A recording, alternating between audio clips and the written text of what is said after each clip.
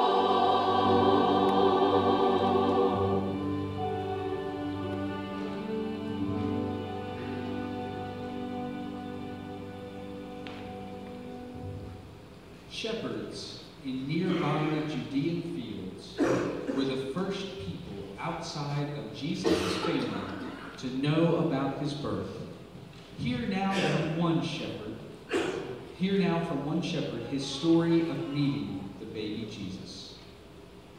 When I was just a boy, I used to play king in the fields. On those days, the rod in my hands turned into a scepter. The camel hair cloak on my back became the finest silk. And those sheep, those stinky sheep became my people, my adoring subjects. I governed, gave fine speeches, settled disputes. It helped the hours pass, but at the end of the day, I was back to being the shepherd, a little brother, a kid with some sheep. Not many people want my job, but it is not bad. It's hard to explain, but there's something special about caring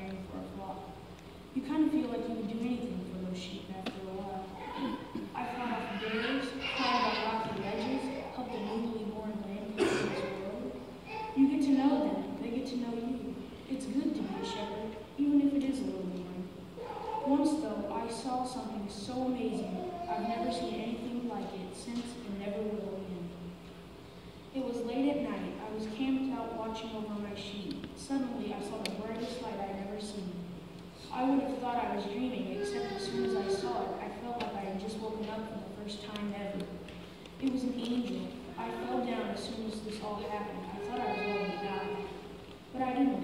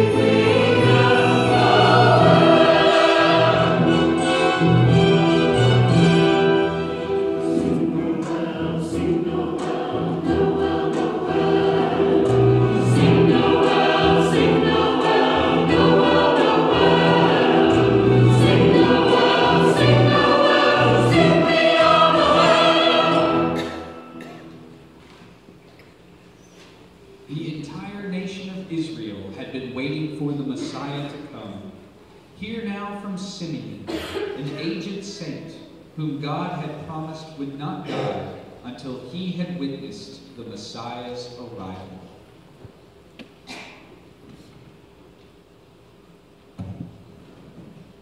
I have loved God my whole life. I've studied the law. I've said my prayers. I have believed the promise. But I've seen God's people suffer and stray, and it's broken my heart I've called out to him every day for as long as I can remember, save us, send a Savior. Then one day, God told me as clearly as I'm speaking to you, how that it would, I would not die until I had seen the Messiah. After that, I woke up every morning expectant. I studied the law. I said my prayers. I believed the promise. Every day I looked for him, but I didn't see him. But that morning, I didn't wake up slowly. My eyes opened in astonishment as though they knew what they were about to see.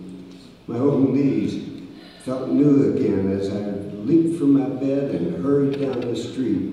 All the while, the Spirit was singing in my heart like a song, To the temple, to the temple. And everything in me knew that, that knew it the moment I saw him. It was difficult not to fall on my face in the floor in worship. It was difficult to find words to ask his mother if I could hold him. This small baby was not what I had expected. He was greater than I expected. How like our God to bring salvation in such a way. I needed nothing else. In him a light greater than all darkness. In him a promise greater than all lies. In him redemption greater than all our shame and pain and sorrow. Sovereign Lord, it is as you have promised.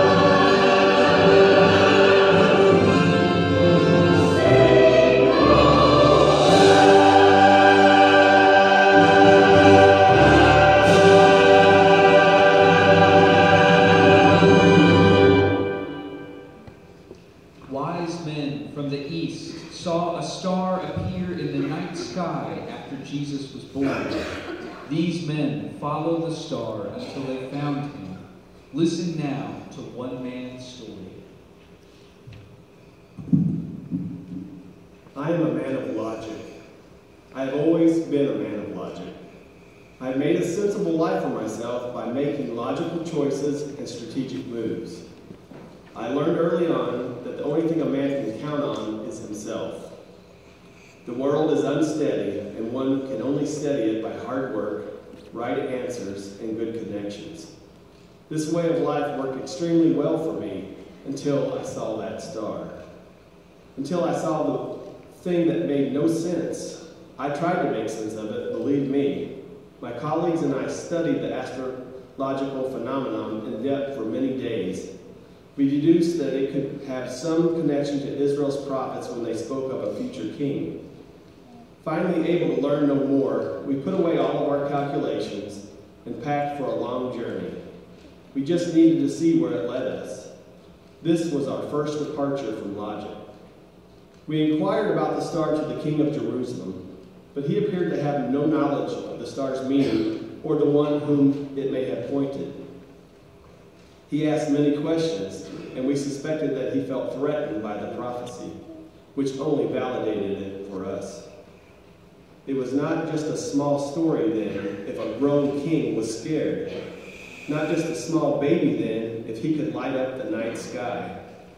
We continued our journey with growing excitement. We followed and let the light lead. I had never followed anything but myself until that journey. As suddenly as the star appeared in the sky, one night it just stopped, right over a small house.